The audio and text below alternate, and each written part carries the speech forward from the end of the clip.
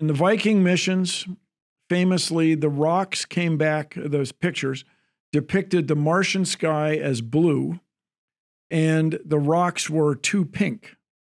And it took them, I was at the 30th anniversary of this thing, and these guys were talking about it. It took them about a day and a half to realize that the cameras had been calibrated on Earth and the pictures needed to be recalibrated. So they found intuitively that if you look at the shadow, you can infer the color of the sky. So those of you out there haven't sat through this, go outside on a sunny day. If you're in Ithaca, New York, where I went to college, There is a, no s- sun- there's no there is sun. a sunny day scheduled in the next 10 years. Yes. Yeah. Then you make a shadow on something white, like my shirt would be good, and you'll see the shadow is gray, to be sure, but it's also ever so slightly light blue. And that's because the sun is not the only source of light here on Earth's surface. Blue The sky is a source of light. Looking at me, nothing but orange skies on the Blue other planet.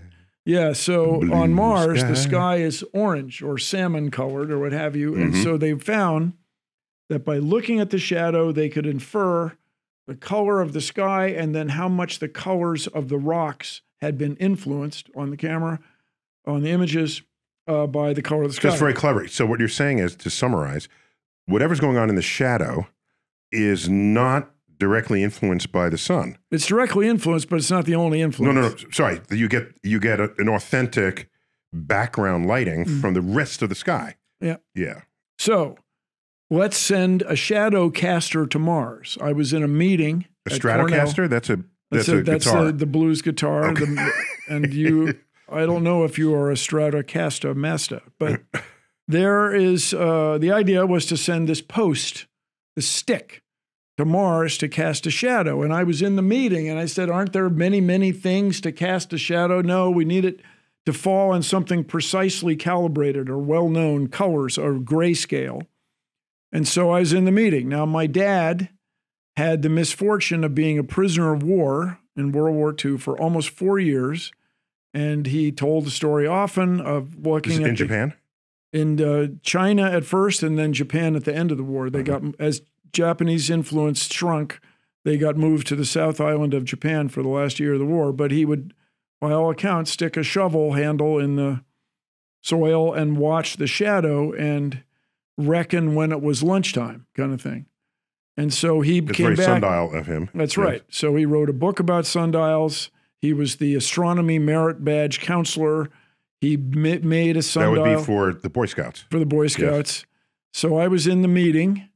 They're going to send a metal stick to Mars to cast a shadow. So you have genetic I'm just jumping out of my chair. You guys, we got to make that into a sundial. okay, I'm glad you didn't put a shovel here for So this. they were Yeah. all looking at me like, dude, it's the space program. Bill, I see you're wearing a watch. No, come on.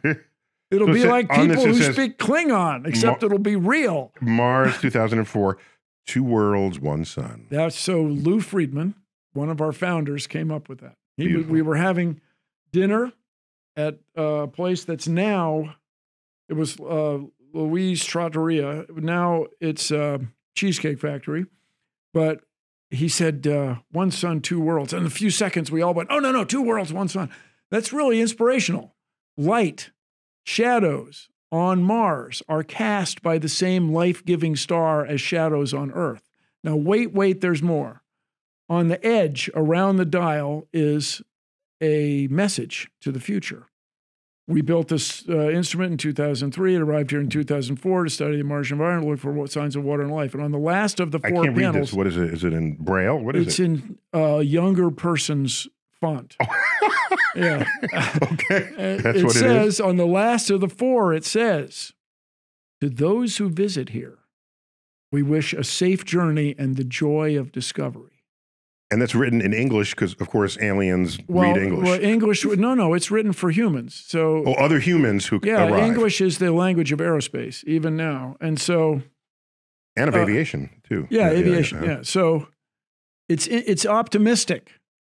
People are going to be there and they're going to go up to that thing and look at it and think about the, The way we go up to the Plymouth Rock. the way we go up to what Plymouth, have you. Yes. A pyramid, a, um, a Machu Picchu. We go up and go, wow, Yeah. that's an extraordinary thing humans before us did.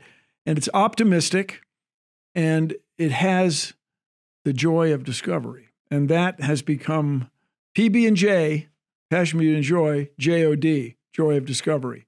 That's become a phrase with me and the staff.